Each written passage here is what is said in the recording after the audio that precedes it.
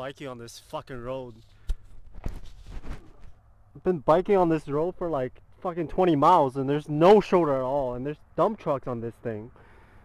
But there's no other way to get get out of here. It's retarded.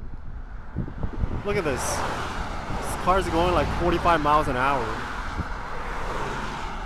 Um, my reflective gear and I've started riding like just in the middle of the lane so that forces people to slow down and kind of go around me. But I'm still pretty anxious about riding this thing. I've got another like 20 miles of this. About four miles outside of Fredericksburg and it's finally turned into like this bike path. I'm just checking my Strava and coincidentally it just reached 100 kilometers.